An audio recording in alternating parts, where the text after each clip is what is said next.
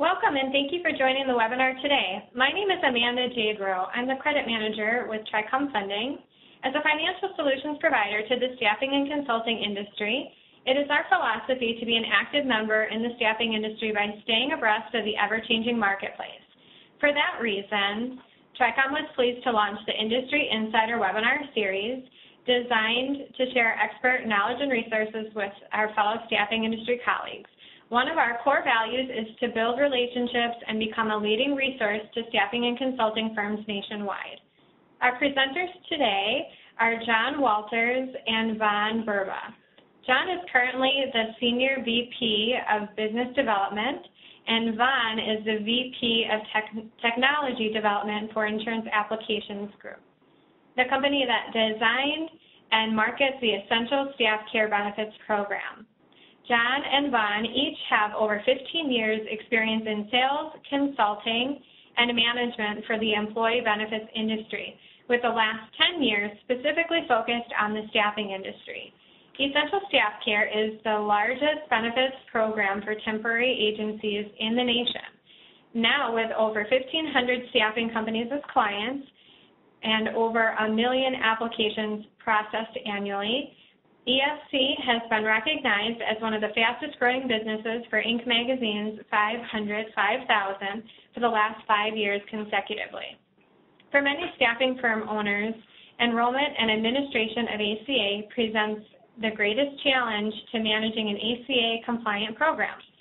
In today's webinar session, John Walters and Von Burba will provide an ACA update to include insightful ways to manage a cost-effective ACA program to include enrollment metrics, new employee direct premium payment options, enrollment challenges, ACA reporting, new options for the staffing industry, and an audit log system. By the end of the session, you'll know how to prepare an ACA compliant program for your staffing firm that uses limited valuable resources while eliminating exposure to tax penalties. If you have any questions during the presentation, please utilize the Q&A feature located on the right toolbar. After the presentation, there will be time for questions and an opportunity for you to give us your feedback on today's webinar by completing a short exit poll. With that, I will turn the floor over to John.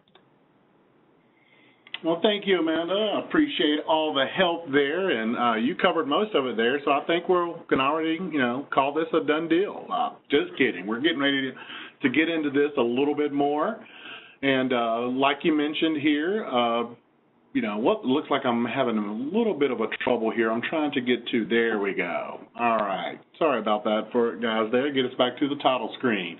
This is what happens when Amanda gives me control of everything. I generally will probably mess it up somehow. Um, but like Amanda mentioned, you know, we are the largest provider of benefits to the staffing industry. Well, we are currently over 1,500 staffing companies and processing over 2 million enrollment forms each year. Um, you know, a couple of uh, other of our accolades there is, you know, uh, we've been named to the Blue Cross Blue Shield President's Honor Council for six straight years, and like she mentioned, uh, we're a five-time honoree of the Inc. magazine Fastest Growing Companies. Uh, here's a little bit of our footprint of, of, the staffing office locations that we service and their employees across the nation. So, um, it, you know, you certainly probably uh, can see there that we're heavier in some markets, but not as heavy in others. Um, we have multiple strategic resources that we're allowed to bring to the table, including a multi-year corporate uh, partnership with the American Staffing Association, which gives us a lot of access to their data about the industry. And of course, you know, we support over 20 state uh, and national associations, including um, Ohio, Wisconsin, Missouri, you name it. Uh, you know, we're, we're generally sponsoring those shows. Um, and also, we have strategic partnerships with over the, the top 15 staffing specific vendors, including our good friends at Tricom. Um, so uh, we do have a lot of legal advice we have access to, and we bring that to the table when we're, you know, discussing a lot of these issues. Now, just to keep in mind, here's our standard disclaimer that we are not attorneys, neither Vaughn nor I. Um, uh, we are coming this from a health insurance advisor background, so if you do have specific questions on your specific bill, uh, business model in regards to the Affordable Care Act, we always recommend that you utilize your own legal counsel that will be, you know, the most familiar with your businesses. Um, uh, again, uh, you know, Amanda did a great job kind of covering what we're going to be doing today. We're going to be uh, covering, um, you know, just some basics on what we saw throughout the first year of the ACA. Um, and then we're going to start talking about a lot of the administrative challenges that is uh, quite particular to this industry in the, in the staffing market. Um, you know, dealing with the list bill monthly coverages, uh, enrollment and communication challenges for those employees, reporting, and then what we're seeing as some new options on the horizon for everyone. So let's first, just from one company, our company's perspective, what we saw for the first year uh, of the Affordable Care Act and how this affected the staffing industry. Um, throughout the second half of last year, um, we added 493 uh, 93 either MEC, minimum essential coverage, wellness preventative plans, or minimum value plans uh, just in the second half of loan of, of 2014. A lot of those groups went in uh, at the last minute. Um, you know, uh, generally the last six weeks of the year, uh, a lot of business came on. all of our large national accounts were implemented. And of all the uh, uh, new plans that we implemented there, 40% of them were new clients. Now, a couple of interesting statistics there uh, of, of, what our client base is doing, which we think about 1,400, 1,500 companies. Um, you know, this is a great sample based uh, to look at what uh, staffing firms are offering in the market. Um, 57% of those groups that, that came aboard uh, offered an MEC wellness plan only. Um, uh, 23% offered the minimum value only, you know, with optional uh, benefits there, and then 20% uh, offered both. Okay. Uh, a lot of you are familiar with, uh, you know, there was a very popular self-funded plan. Um, you know, what's called the minimum value light program that was available to the staffing industry. But on November 4th of last year, the IRS came out with a new regulation that basically said these plans uh, needed to have uh, include inpatient benefits. So in a self-funded world, um, you know, one of the things that we insisted on is that the groups fully fund those plans. In other words, making sure that there was enough in there that claims were going to be covered and to not kind of play games with the ACA. All right. From there, trying to get to the next slide here, and my computer's running a little slow here, so please bear with me. All right.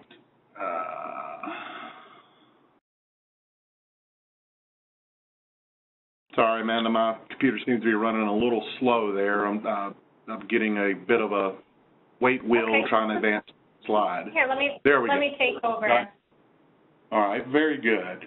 Um, for this coming year, 2015, you know, we have announced a fully insured bronze option to, to get a, a little bit away from the self-funded options for this year.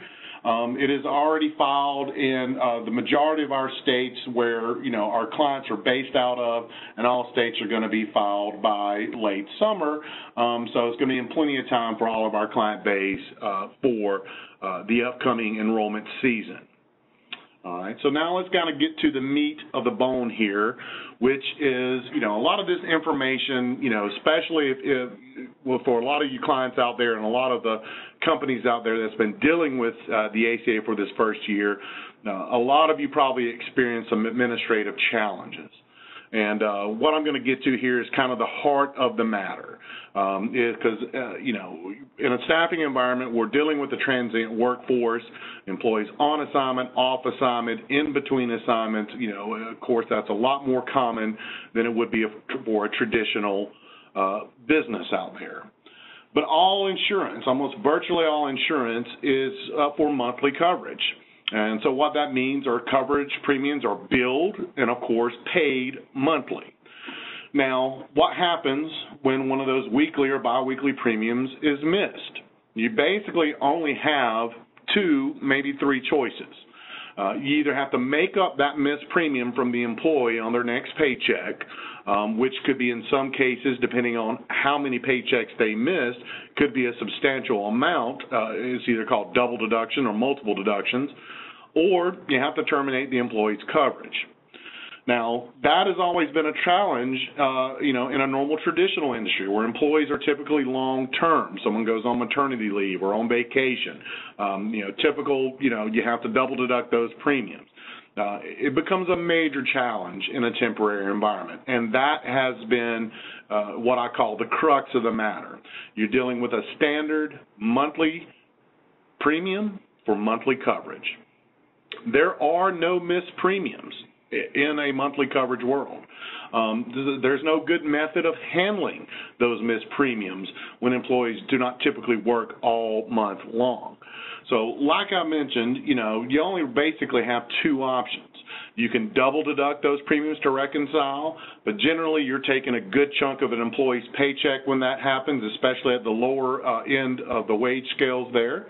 Um, but in a staffing environment, you know, a lot of times that's going to equal angry employees and considering how much you may actually have to do that, the burden becomes so great that it's almost impossible. The only other method is to terminate the coverage. All right, but you know, again, in a staffing environment, that could also equal very angry employees. Uh, plus, you have some potential legal exposure out there if not done correctly. Um, so, when to terminate uh, a coverage for non-payment can generally be very challenging. All right. Essential Staff Care to help combat this, we developed a new option. Um, we call it direct pay. Um, we're the only provider out there that uses this method as an option. All right. Um, you know, oh, hold on, went back to the other one. All right. It is based on the same payment method that is utilized by the, a lot of the state and federal exchanges out there. We currently use the same vendor that Blue Cross Blue Shield contracts with for the state exchanges. It's a company out of Texas. Um, um, and basically, how this works is, you know, once an offer of coverage is made, uh, that employee decides he wants to sign up for that coverage. Um, we mail them information to their house, uh, uh, to their home address on how to set up and pay for their portion of that coverage or in the case of a wellness preventative plan, a, MEC plan, um, you know, to pay their entire monthly premium. Okay, um, you know, so it's set up outside of your payroll. And we offer this as a free option, uh, you know, for our client base out there. Um, in, in the realm of the minimum value or bronze type plans where a contribution has to be made by the employer based on uh, ACA safe harbors and the affordability provisions, you know, basically those amounts are set up beforehand based on that employee's wage in a lot of cases. Um, and then the employer just simply sets up that ACH account. So each month, when that uh, uh, you know employee makes his premium payment, the employer is deducted uh, their contribution. So the full amount of premium is taken at one time and then applied for the monthly coverage. All right. You know, the employer is going to receive that draft on the same day of each month. But, you know, here's the kicker. It's only for those employees that actually make their payments on their own plans. So it, it basically, in a nutshell, it keeps your cost to a minimum. If an employee decides he's not going to pay, you don't have to pay. All right, and this will keep a a good majority of those above mentioned issues, uh, the double deductions, whether or not to terminate that coverage, you know, kind of out of your hand there. All right. Now let's kind of go to another step of, of administration is how do you enroll these plans? Okay, you know, and basically the main thing on the enrollment is verifying your offer of coverage. All right. How does the staffing company verify it has offered its affordable minimum value coverage to 95% or more of its full-time employees for this year? Okay, you know, first challenge is who's a full-time employee with the new, uh, you know, variable hour definitions, look-back rules, uh, and assignment changes from basically a temporary one to a full-time assignment. You know, that's a challenge in itself for a lot of companies is, is identifying who really is full-time uh, employees on this. You know, and if you do not make that offer to 95% or more to your full-time employees based on the ACA, you could be potentially risking the entire A penalty if that is not correct. How do you think this is going to be handled? There's really only two methods. You either can do it paper or you do it through some sort of electronic function. Okay? And once we go to electronic, now we're talking about traditional enrollment systems. We're basically, you know, what we've seen out there in the market, and this is where Vaughn is going to come speak to a lot more uh, eloquently better than I will, um, because he comes from this benefit administration system background. Um, but from what we see out there, the staffing industry very well may be priced out of traditional Ben admin systems because just like the coverages you're trying to offer, it is designed for a stable, long-term workforce. The pricing of these types of systems are generally based on a per employee per month factor. And we've seen based on the capabilities of the system, you know, that can range to three to those high as sixes we've seen, maybe sometimes a little more per employee per month that goes through the system. And of course, Every employee will have to go through that system. Now, in a staffing environment, you may actually cut 150, a couple of hundred checks a week, depending on your size, whatever that, that number is. But you have a some multiple of that of number of W-2s you're processing. So basically, you're going to be calculating that price on your number of W-2s. That's every employee that comes through your doors would have to go through this. And you're going to pay some sort of per employee per month charge. It can get tremendously expensive very fast. And from what we've seen, enrollment systems out there, you know, are just too high of a cost for the staffing industry and a lot of the margins, uh, very thin margins that staffing firms can uh, operate at. Another part of this is how are you going to deal with your reporting toward the end of the year? As you all know, you've gotten a you know a, lot of new reporting requirements. Uh, uh, due to the ACA. And that includes additional information on W-2. So you now have the box 12 on W-2 reporting. All right. We all know that a lot of staffing firms use W-2 vendors out there, you know, uh, people to handle and process and mail out your W-2s for you. You know, uh, how expensive, uh, what, is there going to be a rate increase on these new uh, reporting requirements for W-2s? That may cause one of your vendors to have to change their system. We haven't seen what those cost increases could potentially be yet. And also you have the IRS code section 6055s and 6056s depending on whether or not you're going to be using a self-funded or a fully insured plan. And what this refers to is basically your 1094s and your 1095s. All right. Um, you've all uh, seen a lot of those reports. Uh, you know, uh, they've just got finalized uh, over the past couple of months. That's a lot of information that it has to be reported and reported accurately. So uh, we know that there's a lot of pressure on a lot of the vendors out there to be able to provide this type of reporting. You know, depending on who you use. I mean, I know Tricom is going to be, uh, you know, uh, probably helping out in some ACA-related way, but whether or not um, these reports will be part of that, um, you know, uh, you'll be discussing with your vendors out there. Um, you know, the only good news is is you've got this year um, to to kind of you know get your uh, you know process in place on how who's going to be handling that. Because you know you won't be really reporting until the beginning of 2016 for this year okay? You know we've added some uh, links there uh, to both SHRM and IRS to go over in a lot more detail uh, a lot of this reporting okay? So what kind of systems are available that can handle all of that okay and from there, you know, this is where Vaughn's going to come pick up. Uh, uh, he's going to introduce you to what a system needs to have to cover some of these issues, and he's going to be able to uh, take you into a lot more detail from his uh, benefit administration system background. Thanks, John. Um, would you pass in the controls back to me? I haven't seen anything come over yet. Uh, now I'm presenter. Let's see if that.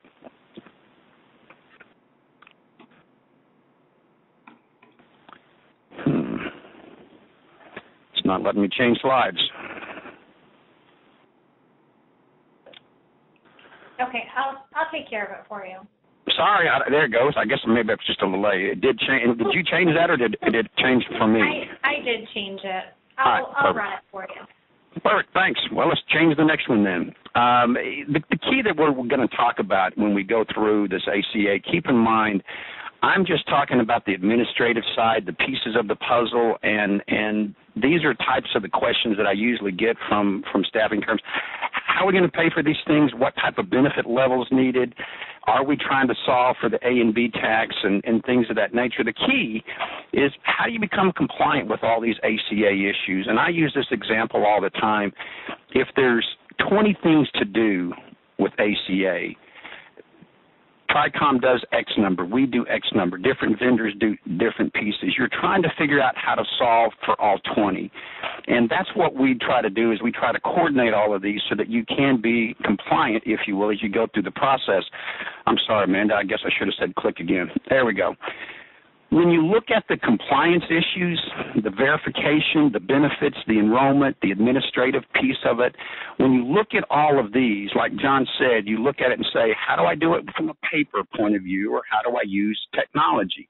Go ahead and hit it again right quick. I'm just going to talk about the administrative side. We'll answer any questions you want as we go through this, but when you start looking at the who you use for legal and and and the other pieces we'll get to i'm just going to concentrate kind of on this area if you will one more. The bronze idea. When when you start looking at the idea of a qualified plan the reason people are looking at the bronze type of a plan whether you're looking at a minimum essential coverage or bronze as John said, this next year people are looking at the bronze because they they want the the, the actuarial 60% equivalent plan that gets you out of the A and B tax, unlimited claims, all of those things that you've heard of. If you go with the bronze, what that really looks like, Ding. How about if I say Ding? Will that work? here's kind of what it looks like. This is a national type of uh, a, of a strategy that we got from Milliman. When you look at a medical plan, claims are broken down into you know, somewhere around 54% of medical claims filed are below $1,000. The red, 30% are between 1,000 to 5,000. And then, of course, above 5,000 is basically the 16%. What we're saying with the bronze, hit it again, please, the bronze plans are designed typically to have a $5,000 deductible range, could be four, could be six, but it's designed to only cover the higher costs. So what happens is the employees are left saying, how do I handle the first dollar cost? Because if I go have a bronze, which again is gets the employer over the A and B, the employees really don't have that that that hole or that gap, if you will. One more, please. So that's what we have to really look at when we start looking at the employees. Can they afford the out of pocket expenses of a high deductible plan? And that's why John was saying a lot of people look at the bronze and they still don't enroll because I can't afford the $5,000 deductible anyway. One more, please. So what you do if you're going to go the bronze, and we're going to do this current process paper, if you will, the tracking, the reports, the offer, tying into payroll, the carrier feeds, all of that. That's what takes place is you're going to have to kind of coordinate those pieces of the puzzle. One more. So what we do as a company is we look at look at the cost side of what it is for the bronze. You know, how much could that save your company by getting out of the A and B tax? How do you show the variable hour, the look back, the communication, the offer, the reports, the research, the training, all of those things you're going to look at and say there's some kind of cost of X, whatever that cost is to run your comp- that process. One more, please. And when you look at trying to do this separately, a little bit here, a little bit here, a little bit there, That's what PricewaterhouseCoopers came out with a study and said if you do all of these different services separately, it costs you more than if you try to tie them all together. And that's what we recommend for people when you're looking at all of this ACA stuff. Try to figure out how to collectively tie the vendors, the, the system together where you can pe- put these pieces through a process that you can easily track. One more. So one of the tools that we use, uh, and this is something that, that you guys can do internally, it, it's just that it, it takes a little bit of calculation. What we do is we plug in all of the information into the system, our estimating tool, and you probably have seen tools like this before, but what it does is it looks at all of your hours, all of your employees, which ones are full-time equivalent, you divide that out, you look at what your options could be if you paid, played, or whatever, the thing that's nice about it when it gives you these numbers that also helps you when you're talking to your employer groups when they say are you ACA compliant? If you had to do a buy up or, or an idea of how much you're going to charge extra this tool can help you say hey it's 17 cents or it's 6 cents or whatever it turns out to be but it gives your people a chance to explain to clients I am compliant and this is the reason that I have the idea of going up in, in hourly rate if that's something that you want to run. But that's a lot of clients are doing that kind of idea to figure out what the cost would be. Next, please. Once you figure that out, then you're going to be looking at it each time you hire somebody how this ugly thing called the variable hour piece. We have a process where you can enter your information. We we did this in conjunction with ASA where you ask the questions, it gives you weighted averages, it gives you a printout at the end that says, hey, based on the, your temporary staffing, this employee is 100% weighted to be a variable hour employee. And then you can run it through, if you will, your process. So it gives you the ability to actually have your recruiters, if you will, go through and enter in information and you have something to put that stake in the ground that you can show if you get audited. Hey, I had a process to determine if it was variable hour or non-variable. Next, please. That information then helps you with the look back.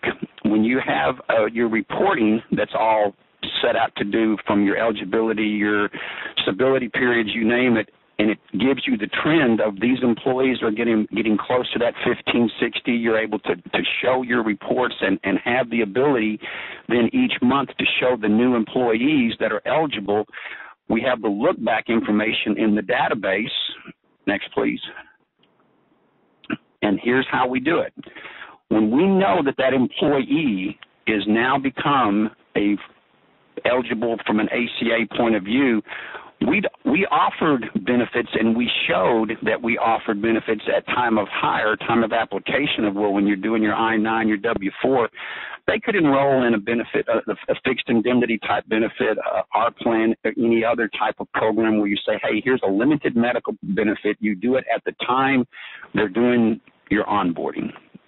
Check we get something month two, ten, whatever the months are later that says, hey, this employee is now considered to be full time. They've they've gone through their process. What we do is we mail a package to their home, regular mail, and the government may want proof of that you've made the offer. And what we do is we push an email to them Again, it may not have the exact email because they could change, but we also send a, a package to their home. You've touched the employee now twice with your offer. The address could be wrong, the email address could be wrong, but you've proved to the government that you have now touched your employee twice. You've made the offer. So that's how we help with the process of how does this offer work? Well, you got to get it to 95% of your employees are face the idea of penalties.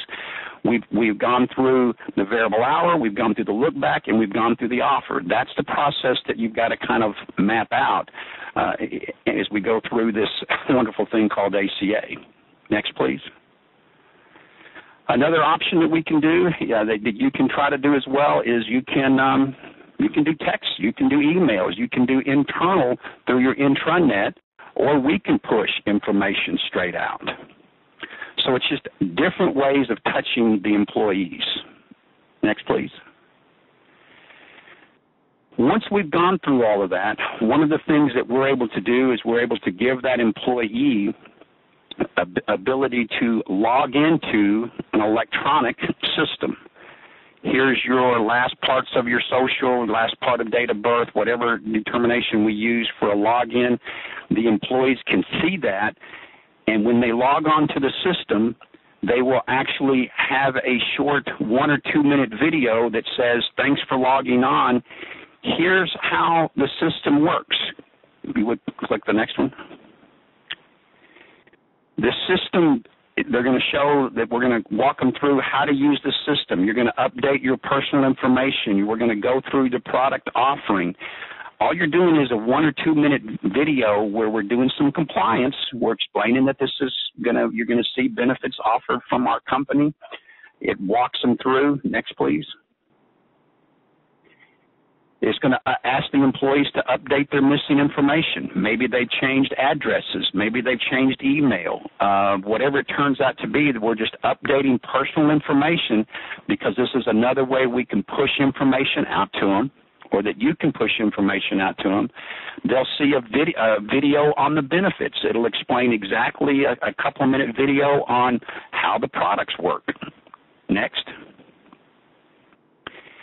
From a compliant point of view, it'll talk about the bronze plan. It'll explain where you can get links, where you can get documents, your summary of benefits of coverage, anything that the notices that, that you may have already sent out to them. We've got copies of all of that so that you can prove to the employer employees you've made the offer. They can either enroll in the plan or, or what? They'll hit the next button. Next, please. Then they'll see the summary. They'll be able to. They'll have, the video will explain this is what you can review, confirm, and you can either print or email that information where they've waived or they've enrolled. Now you've kind of completed the circle. You've gone through everything from variable, look back, the offer, the enrollment, waive, accept. If they need to, we can also have links out where they can track their claims. Next, please.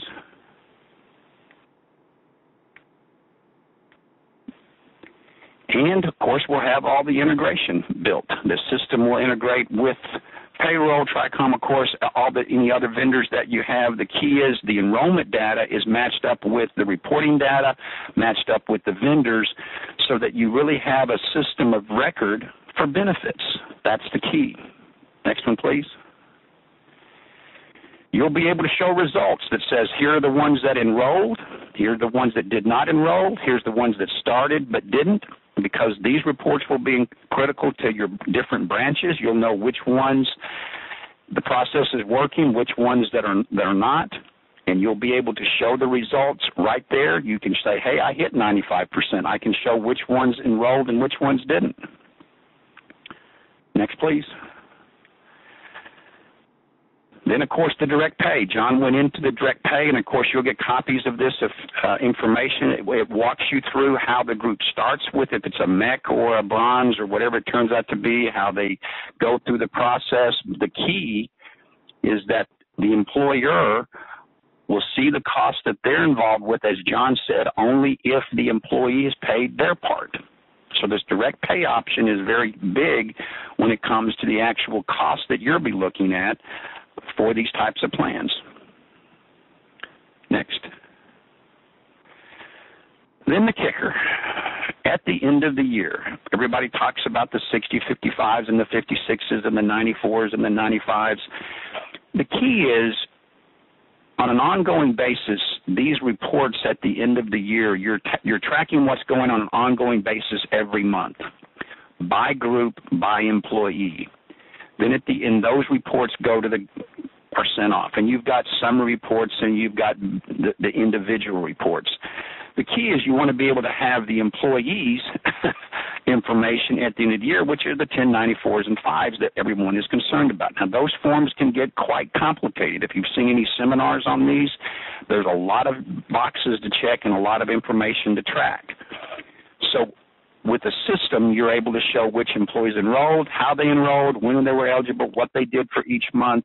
You're able to have that information, and those reports are created for you. Next, please. And that's kind of what we've been kind of going through at the high level today is is what we call the the benefit system of record. That's really what we talk about at, at our company. Here's the the two minute commercial for what we do. We we tie all these things together and we call it the audit log system it talks about the evaluation tools, the products itself, the administrative tools, the log, if you will. It walks you through an automated process. That's what we really call our process where we've tied into TRICOM and everything is you've got a database which is your benefits system of record. Next, please. So what happens is regardless you pick a MEC, you pick a bronze, you've gone through what you need to do from an ACA point of view, the additional products. We tie that into the audit log system so that we can take the information from both sides of the house, both product as well as from the ACA point of view. We tie that together, uh, and that's really what we're talking about when we say an audit log system. So when you look at that, next one please back to that thing of what's your annual cost? Bronze the variable hour the look back the communication hr tracking the offer integrating with payroll your irs reports the changes training of internal people to, to work with your employees. That cost you've got to look at. And and we have clients that are that have gone to the trouble of of doing all of these steps. They've got a process. They've got internal people that they're using and that's perfectly fine. We'll, we're, we help them with the information that, that they need from us, or you can look at what we call the audit log system that kind of ties all that together. Next slide, please. So the ending slide. Everybody's waiting for this ending slide. And then we can get to some questions. Um, the key is is when you look at a bronze type of plan to get out of the A and B, you're looking for things to make sure it's to the 60%, but also the participation requirement, if you will. It allows you to spend time on your company versus worrying about insurance, if you will. But it, but more importantly, it gives your employees options. But the key that we try to make sure that we tried to show today is is how to keep your contribution and administrative issues at a minimum. So that was kind of the idea when you look at what TRICOM has done and what what we've tried to work with with companies of how we kind of tie all that together. And we're more than happy now. Next slide to answer whatever questions we need to cover. If it's if it has to do with certain things on direct pay, or whether it has to do with reporting, or we'll kind of open it up for questions for everyone. But that's kind of the high level pieces of what what we were attempting today to cover um, on this ACA subject. I guess we're opening it up for questions now. Okay, so if you have any questions, go ahead and put them or submit them in either the Q&A or the chat feature. I do have a couple questions that have come in, so we'll start with these. Um, could you expand more on any advantages or disadvantages for direct pay versus last bill process? Okay, yeah, that would actually be, uh, yeah, the list bill process. Again, that's the, this is John here. You know, list bill has always been the traditional method of billing and paying for insurance. Um, you know, with this new direct pay model, uh, again, I kind of went through a lot of the advantages a little bit earlier, you know, uh, and like Vaughn mentioned as well, you know, one of the main advantages, it keeps everything outside of payroll. You're not chasing employees down for their missed premium. You're not forced to front that employee's money, the entire uh, entirety of the premium, um, because they missed a particular payment, or you may have trouble getting it back from them. Um, again, that may be manageable in a more traditional style industry.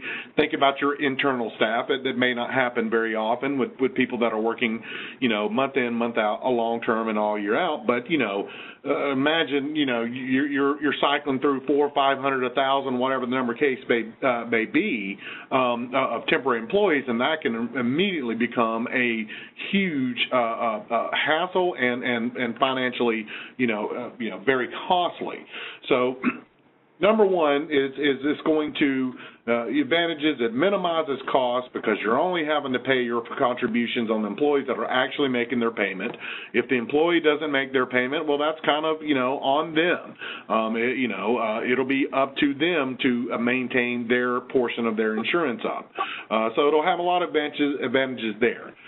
The disadvantage I would say is this is. Um, you know, uh, it's twofold. If you're looking to get very high participation in a plan, um, list bill would probably be a better method. Because when you're taking care of uh, all the premiums and and you know uh, doing the favor of the employee deducting that for them and it's uh, in manageable chunks uh, weekly or biweekly you'll generally get higher participation um, you know and therefore a little bit higher cost for, for sticking with that.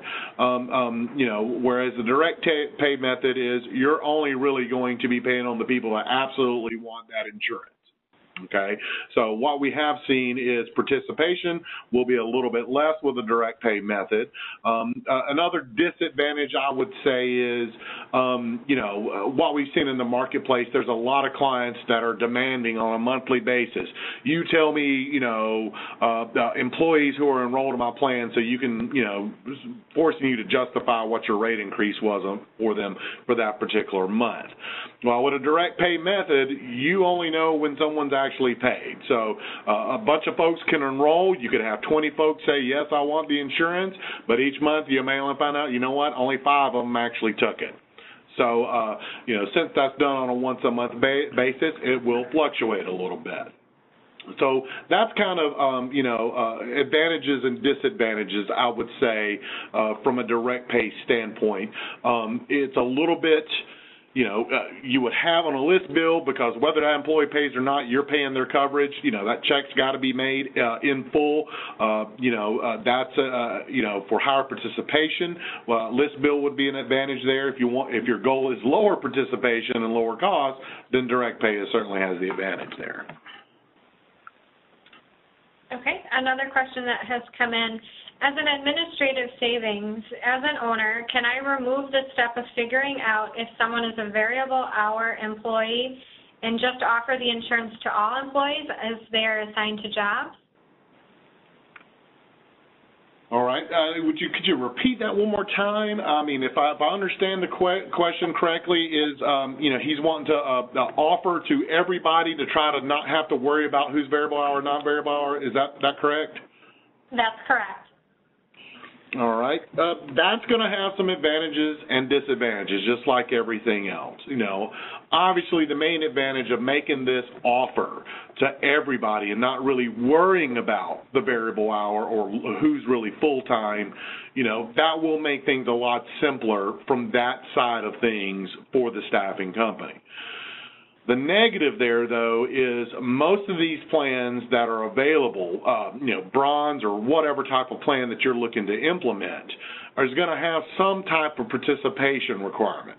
Okay, so it's like, okay, your cost is X number of dollars for each individual, but only if you get 30%.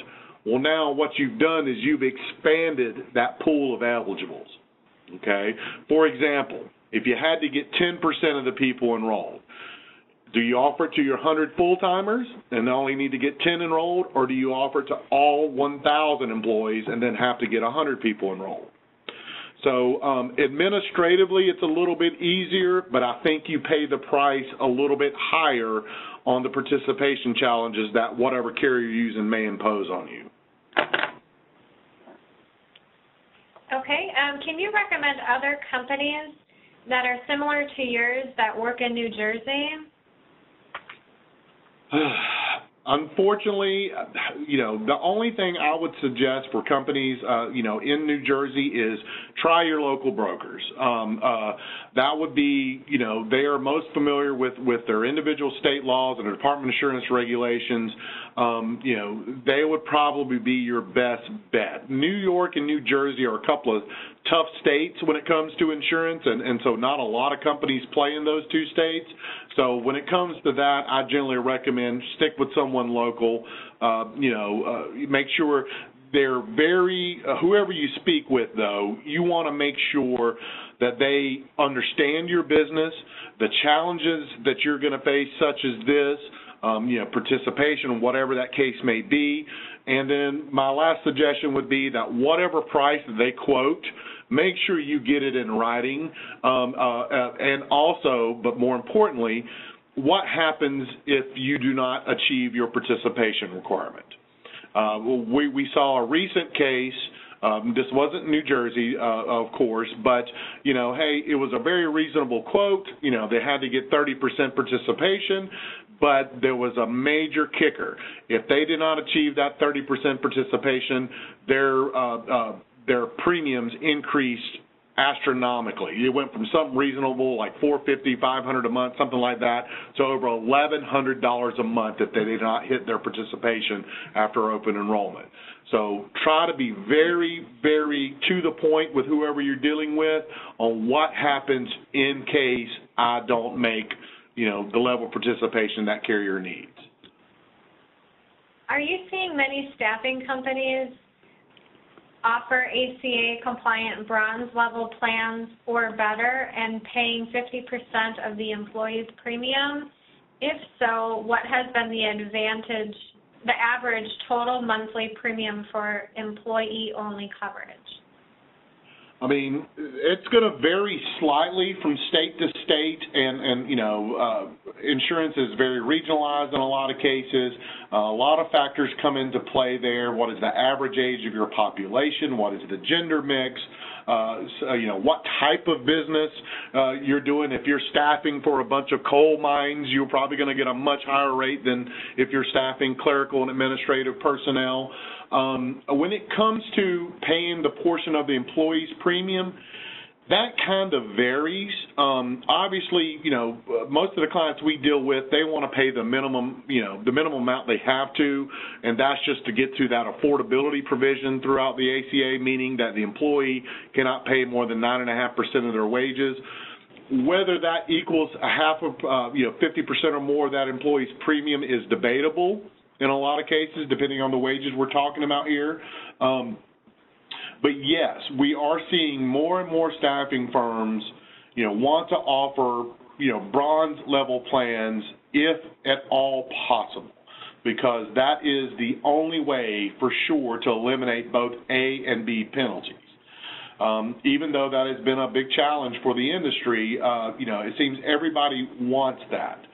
And then secondly, a very strange phenomenon has been happening as well. Even for groups that are small enough to not even be considered a large employer and not subject to the Affordable Care Act, we're seeing a tremendous amount of market pressure coming from their clients demanding that they offer a bronze level or some sort of higher, higher, uh, uh, you know, ACA compliant program, even though the law may not necessarily apply to them.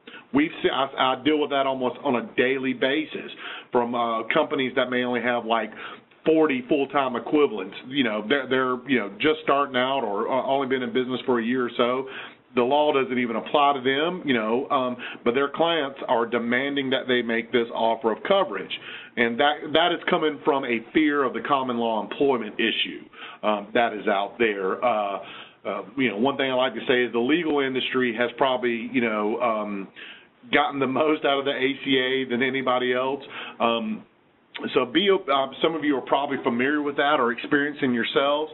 So uh, we're seeing a lot of that, that your client are, you know, pushing you to offer bronze level plans even though you may not even have to. I would say one other thing. It, it, it's a great question. Um, keep in mind, even if the employer is paying 50% of the coverage, it's still going to boil down to how the carrier can spread the risk. So if they're they're going to be concerned on how many people participate, not necessarily if the employer's paying a higher percentage. It's still going to boil down to how many are participating because that's how they're going to spread their risk. Correct. How do I find out what the employer's contribution is for a, black, a bronze plan? Well, that's going to vary once you get your quote and they tell you what the employee or individual only coverage is. You know, you'll calculate, uh, you know, like, kind of like what Vaughn mentioned earlier, and a lot of these uh, estimating tools that are available and out there. You'll calculate what it is, uh, the maximum your employees can pay for individual coverage, and then you'll base your contribution on the difference. Um, you know. Uh, it it really is going to vary by state, location, type of business. So the only way to know for sure is you know once you actually start getting back some quotes from some carriers. But the amount that the employer is going to pay, when you think about it, is is is capped where the employee is only paying up to nine and a half percent. So whatever that rate is, you can you know do the math from that point of view. Uh, you're paying the difference. Uh, And I would add this as well, uh, you know, now Vaughn brought that up. You know, participation is going to play a huge price, uh, play, pay, pay, you know, play a huge part in all this. So let's say, for example, you got an excellent rate of 300 bucks a month for an individual coverage. Um, you know, uh, but you had to get 50% of your eligible people to enroll in it, or your price goes up to $600 a month. So that has to be factored into your calculations. Uh, a lot of times it may be better to pay a higher price for a much lower participation rate than it is to pay a low price for a boatload of people that have to enroll.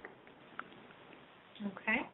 If an employee is temp to perm and works only 12 weeks or 480 hours, will they be considered a variable employee or do we count them full time but only send the enrollment information after the administrative period?